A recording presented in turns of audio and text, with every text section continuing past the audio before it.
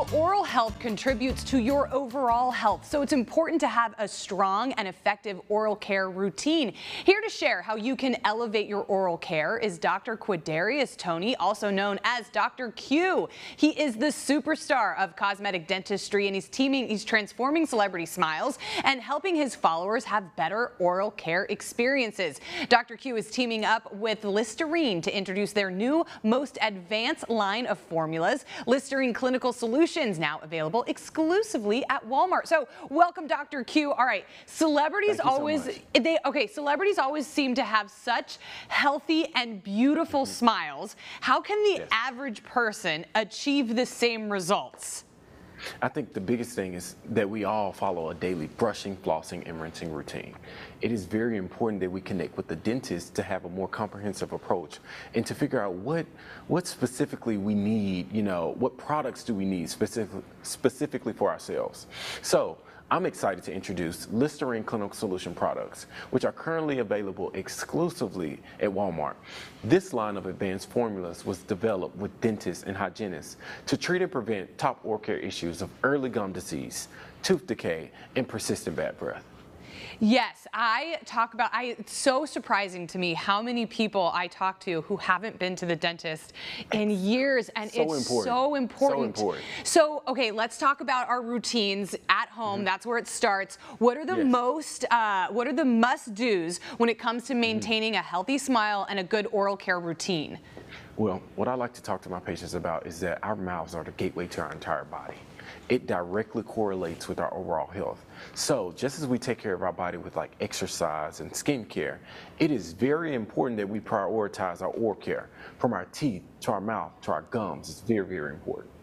What are the oral care issues that you see most often with your patients? One of the biggest areas we tend to neglect is our gums. Our gums are the foundation to our teeth. And we also see tooth decay, and both can lead to persistent bad breath. So to elevate our routine, let's try Listerine Clinical Solution products, which are clinically proven, dentist developed, and deliver superior results for top oral care issues compared to other Listerine mouthwashes. To treat and prevent early gum disease, try the Antiseptic Gum Health mouthwash, which reduces gingivitis in one week versus brushing alone. For tooth decay, consider the Teeth Strength mouthwash, which repairs enamel immediately to prevent cavities for three times stronger, longer lasting teeth.